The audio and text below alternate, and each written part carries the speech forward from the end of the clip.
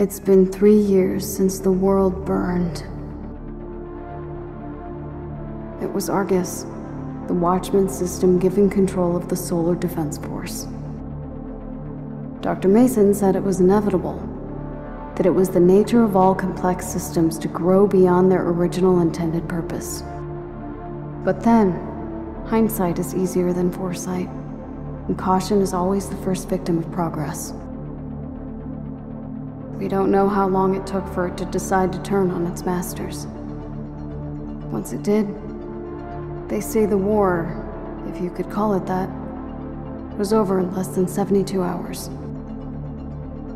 72 hours for the Earth Defense Force to be vaporized by an automated fleet of their own ships, and for centuries of humanity's achievements to be wiped off the face of the planet.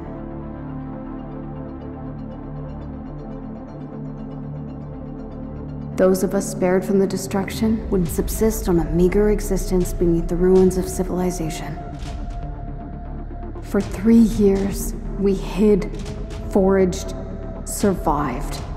Until, below the ruins of New Alberta, we found it. A massive weapons research and deployment facility called the Bow. Nearly a mile long, protected by the mountains above it from the orbital strike. We only knew about it because of Griffin. Some stubborn, dogged resolve in that old warhorse that kept him searching since the first days of our exile. Hidden deep within the heart of the facility, we found the Arrow. A light space fighter with a singularity-driven core. An engineering marvel, making it the fastest and most maneuverable spacecraft ever conceived.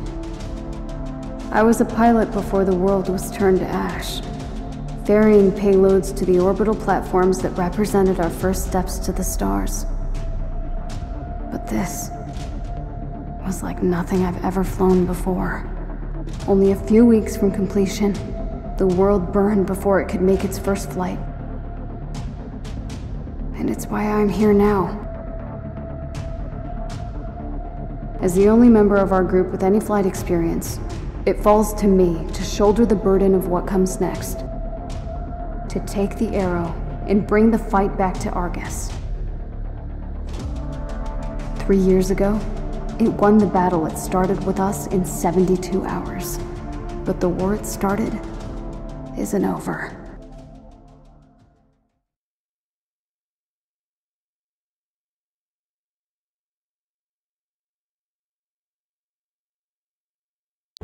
72 hours from launch, Nadia. One last chance to use the simulator and go through the motions. Roger that. Engaging the sim now.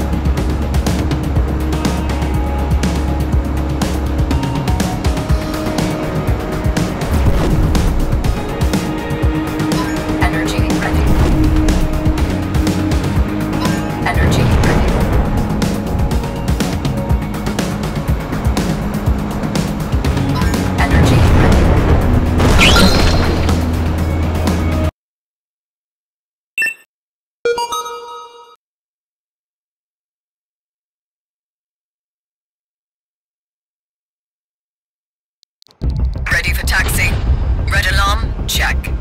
Magnetic accelerator channel is primed. Compass open. Coordinates set. All systems are green. Arrow 1, ready for launch. Good luck.